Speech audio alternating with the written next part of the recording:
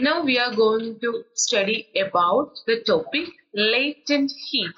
We already discussed the change of state from solid to vapor by adding heat energy. Now we are going to discuss the latent heat absorbed by the system in the case of change of state. Look at the graph. Here the graph is showing above in x-axis it is showing heat absorbed in calorie per gram and in y-axis it is the temperature in degrees Celsius. We are having an ice about minus 10 degrees Celsius and we are applying heat energy to the system. On applying heat energy, we can say that the temperature of the ice increases up to the temperature 0 degrees Celsius and then onwards there is no increase in temperature but there is a constant temperature and while there is an absorption of heat energy. The amount of heat energy absorbed is utilized for the change of state or it is given for phase change. Here the phase is from solid to liquid or it is from ice to water. The amount of heat energy required to change the phase from solid to liquid is aimed as latent heat of fusion. The here the ice is turned into water by absorbing about 80 calorie per gram. That amount of energy is termed as the latent heat of fusion. After absorbing the latent heat of fusion, the ice will be in a state it is melt completely into liquid and then onwards the heat absorbed is utilized for the increase in temperature. As we know that if the the heat absorbed is utilized for increase in temperature, the graph will go straight up to the point 0 100 degree Celsius. We know that 100 degrees Celsius is the boiling point of water. And in the graph we can say that after attaining 100 degrees Celsius there is no increase in temperature on adding heat. But there is an increase of amount absorbing amount of heat energy up to a certain level. And after converting the amount of water into vapor that is after attaining the liquid phase to vapor phase the amount of energy absorbed by the system is about 540 calorie per gram. That amount of energy utilized for change of state from liquid to vapor is termed as latent heat of vaporization. That is, we are having two types of latent heat.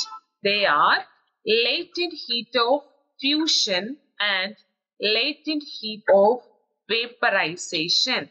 Now we are going to express latent heat in an equation form. That is, if m of m mass of a substance undergoes from one state to another, the quantity of heat required is given by the amount of heat energy absorbed by the system of mass m is given by q is equal to ml or L is equal to Q by M. This is the equation for latent heat. Here L is known as latent heat and is a characteristic of the substance. The SI unit. The SI unit of L is joule per kilogram. Joule per kilogram. The value of L also depends on the pressure. Its value is usually quoted as standard atmospheric pressure. The latent heat for a solid state change is called latent heat of fusion. It is represented by LF and for a liquid gas state change it is called latent heat of vaporization represented by the letter LV. These are often referred to as heat of fusion and heat of vaporization. Consider the table given. It is the table showing temperature of the change of state and latent heat of for various substances at 1 atmospheric pressure. And consider the case of water. The melting point of water is 0 degree Celsius. At 0 degree Celsius, the amount of energy required to required for the change of state is about 3.33 into 10 raised to 5 joule per kilogram and in the case of boiling point it is 100 degrees Celsius and the amount of heat energy absorbed by the system is about 22.6 joule per kilogram. It means that to melt 1 kilogram of ice, we need 3.33 into 10 raised to 5 joule per kilogram and it is for 1 kilogram of water, we need 22.6 into 10 raised to 5 joule per kilogram. So, steam at 100 degree Celsius carries this much amount of energy. This is why burns from heat are usually more serious than those from boiling water. Next, we are going to discuss about sublimation. We already know that there are three states of matter. They are solid, liquid and gas. By giving energy to the solid, the solid state will change to liquid and if then we are giving energy, this changes to gaseous state and it can return to liquid and solid state by giving energy to the surroundings. Okay, this is the state of change. That is, now we are going to discuss the direct conversion of solid to gas without going to the liquid phase. Consider the figure. It is a case of dry ice. Dry ice is the solid carbon dioxide. Solid carbon dioxide is called dry ice. It is a substance which can transform solid directly to gas without going to liquid phase. That process is called sublimation. The process in which the solid directly changes to gas without going to the liquid phase is known as sublimation and the conversion is called sublime.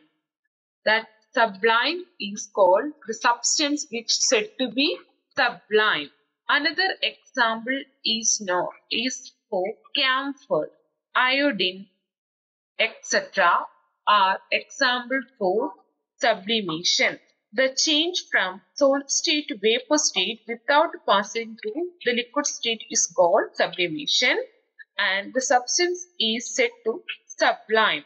During the sublimation process, both the solid and vapor state of the substance coexist in thermal equilibrium.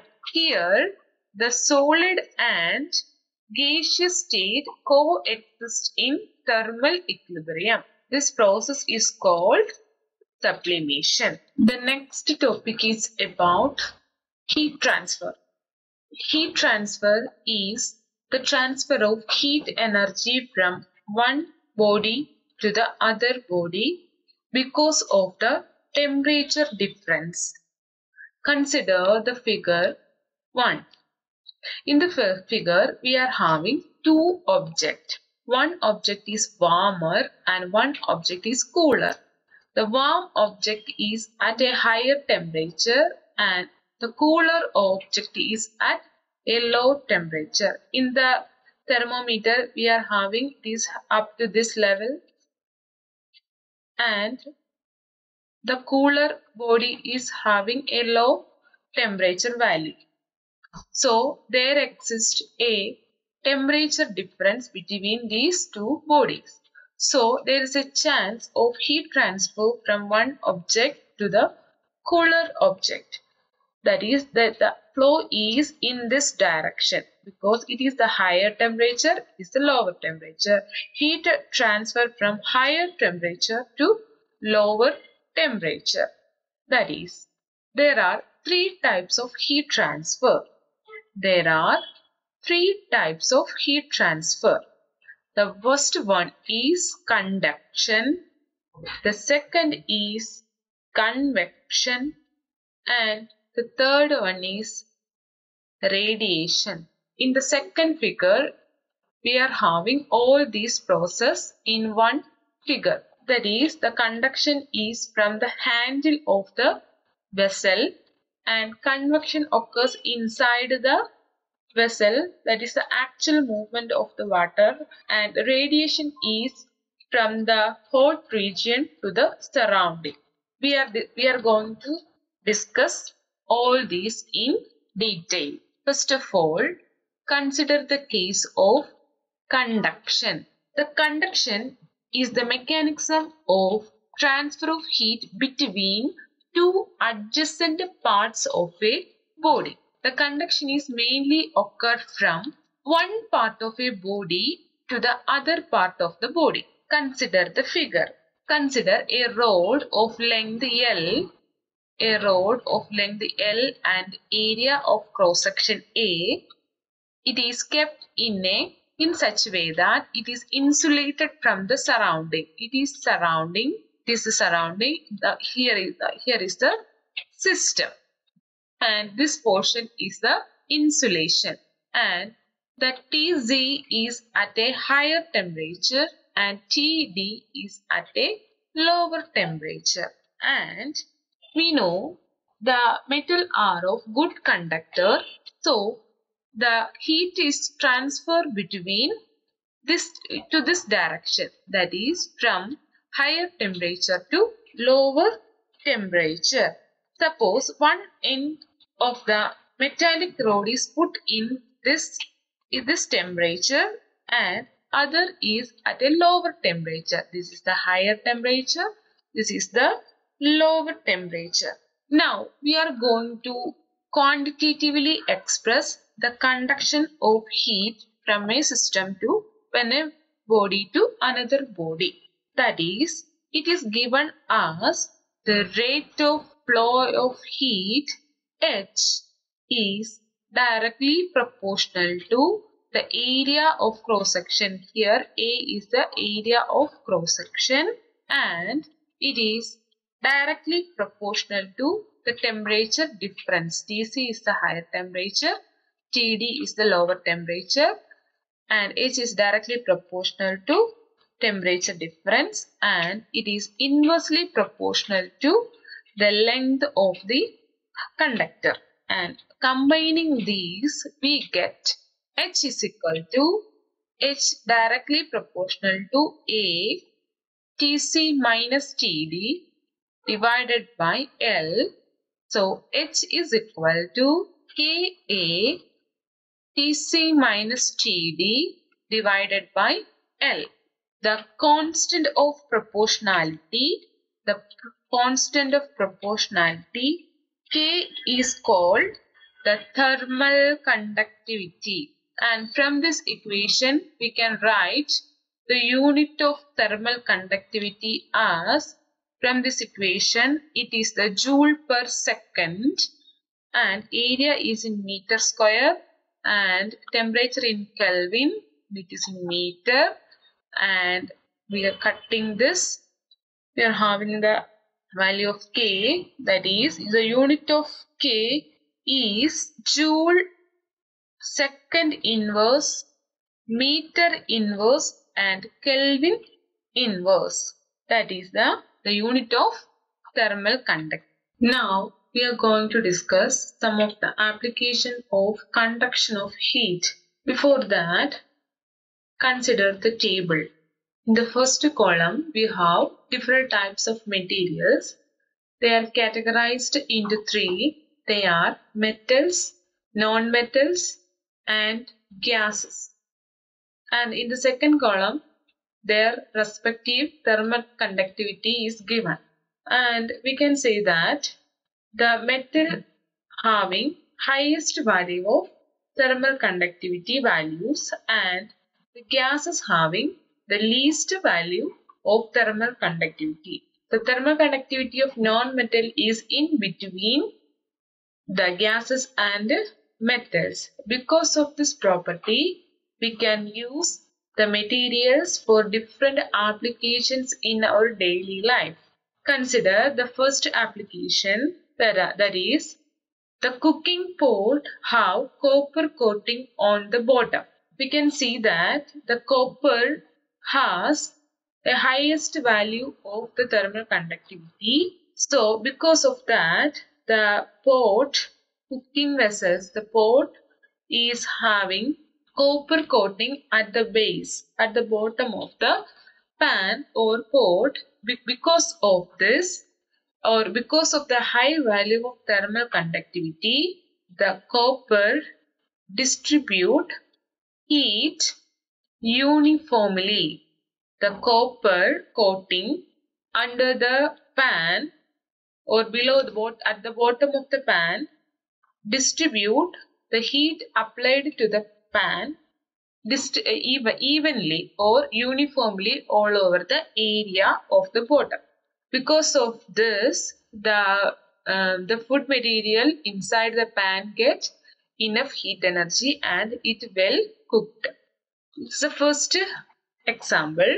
For the second example, we can see that the houses of concrete roof get very hot during the summer days. We can see that considering the non-metals, concrete have some of the highest values of thermal conductivity considering the non-metal case. Because of this, it can conduct more heat than other, other materials. So, on summer days, the inside of the building gets much hot from the surroundings. Because of this, we prefer the an extra coating of earth or mud or clay over the ceiling of concrete roof in order to resist the, the conductivity or in order to resist the heat transfer from the upper layer to the lower layer of the concrete. It is one of the uses of thermal conductivity of material. And for the third case, that is the handle of cooking pots are made up of plastic, mainly of thermosetting plastic.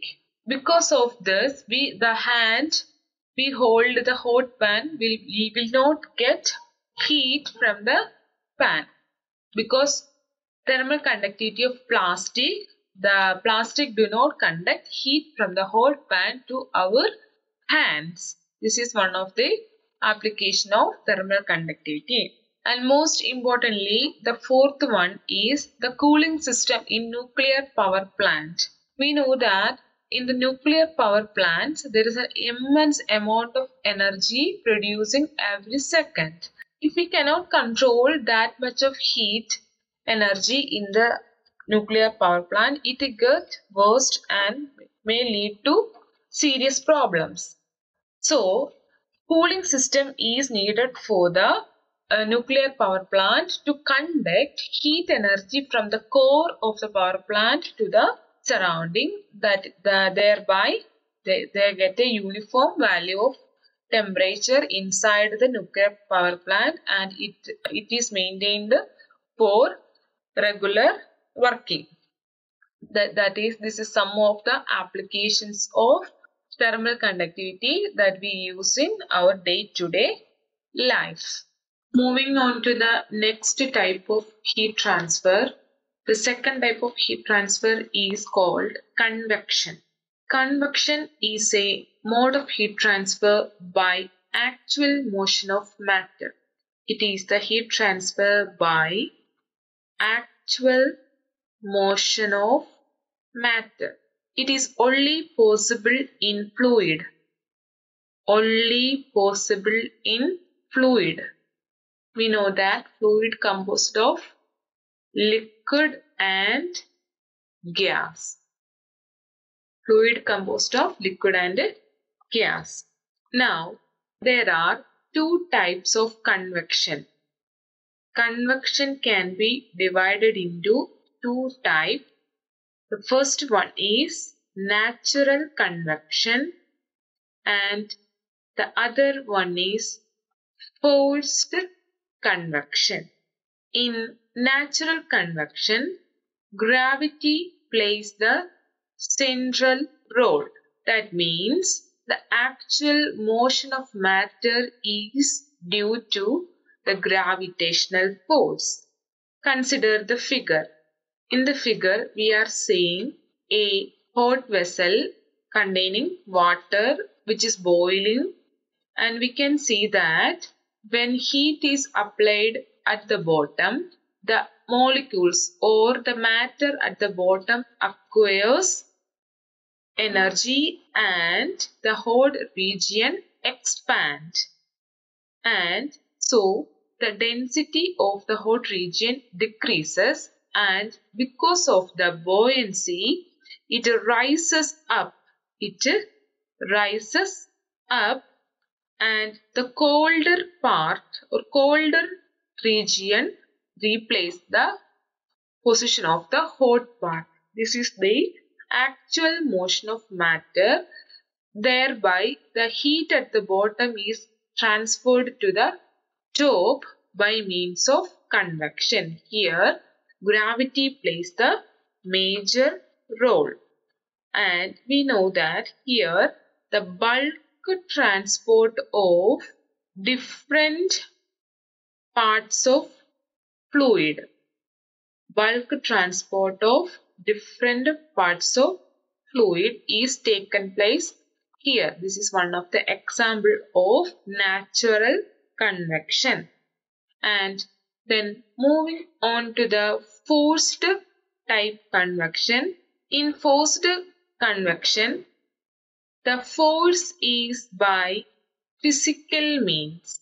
Here, the matter transport is by means of physical. For example, by pumps. Example of forced convection is human circulatory system.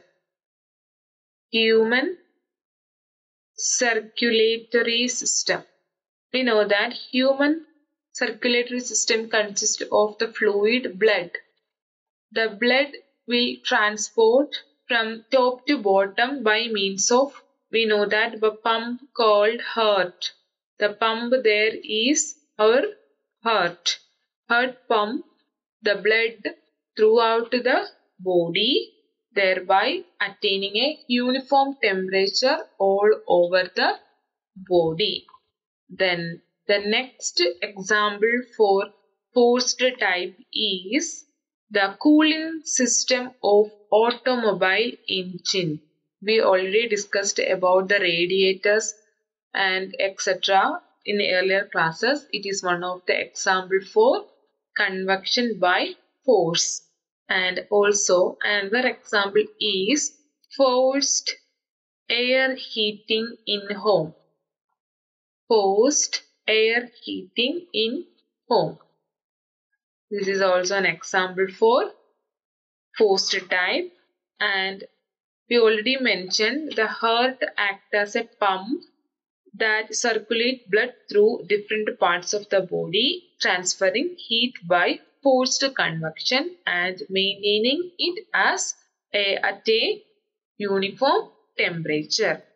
So these are these are the examples of convection and convection is defined as the mode of heat transfer by actual motion of matter. This is the definition for convection. Next, we are going to discuss about land breeze and sea breeze. It is an example for natural convection. Sea breeze and land breeze are example of natural convection. Look at the figure. During day, the ground, here it is a ground and this is the sea. During daytime, the ground heat up more quickly than water and in the sea because of the higher value of specific heat capacity of water. We know that water has the higher value of heat capacity. So it take more time to increase the temperature from normal atmospheric temperature to a higher atmospheric temperature because of the high value of specific heat capacity. High value of specific heat capacity. Because of this, it takes more time to heat up the surface of the water. But at the ground, the it heat up more quickly than water and it main, maintain at a high temperature than that of the sea, sea water. So, the air in contact with the air in contact with the ground is heated by conduction. It is heated by conduction because the sand in the beaches are in contact with the air and the air absorbs heat from the warm sand and then the air expands and thereby the density decreases and it go to the upper layer. So there is a vacuum created here. After the expansion here it is a vacuum created here and so the cooler air, this is the cooler air at the surface of the water forced to, it is forced to come into the ground and becoming less dense than the surrounding cooler air. As a result, the warm air rises and it forms a current it forms a current and the cooler air here it forms a wind. So the warm air rises and the other air that is cooler air fill the space creating a sea breeze. The wind that blow from water to the ground is called sea breeze is called sea breeze near a large body of water. Cooler air descends and there is a thermal convection cycle is set up which transfers heat away from the land. This process continues. This process continues and as a result the cycle reversed. That is in the daytime the beaches get beaches get cool air wind. Cool air wind or cool wind that is called sea breeze. Is called sea breeze. But at the night the case reverses because during the daytime the water absorbs heat energy from morning to evening and at the evening the water become warm at the sea. And when sun goes at instant the ground become cool. The ground become cool. And the warm air above the sea will expand and move to the beach area or the ground and the and if to fill the gap here the wind or the air the cooler air from the ground will reaches here and this and this wind this is the wind. This wind here is called land breeze. It's called land breeze. The cycle continues. This is the this is an example of natural convection. Next, we are going to discuss about trade wind. Trade wind is also an example of natural convection. Trade wind can be defined as a steady surface wind on the earth blowing in from northeast towards the equator. It is a steady, it is a steady surface, it is steady surface wind on the earth blowing in from northeast northeast towards equator. It is a definition for trade wind. Trade wind is arising due to the natural convection. Look at the figure. We know that this is the north, this is the east, this is the south, this is the west. And we know that the equator, this is the equator portion. We know that the equatorial and the polar region of the earth receive unequal solar heat. The, the more uh, heat energy is on the equator. Equator get the more heat energy and poles get almost less amount of heat energy. So, air at the earth's surface near the equator is hot. Here, it is hot region and this is the cold region. This is the cold region. While the air on the upper atmosphere of the polar is cool, a convection current is set up here. We know that air moves from hot region to cold region. This here a convection current is set up with air at the equatorial surface rising. Here the air rises and moving out towards the pole. It, it goes towards the pole. First of all, it goes towards the it goes towards the pole. At the pole, the descending and streaming inwards the equator. So here air gap is here thereby the current from the cooler air from the north is blowing towards the equator. Also, the rotation of the earth modifies this convection current. Air close to the equator has an eastward speed of about 1600 km per hour the trade that is the velocity of trade wind because of the rotation of the earth while it is zero at the north pole and the south pole.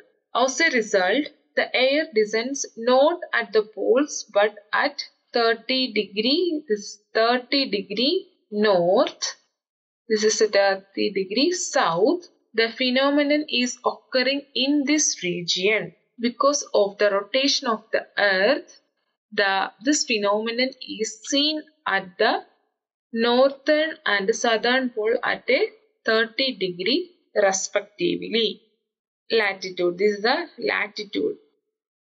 Latitude. And this phenomenon is called trade wind. This is an example of natural convection.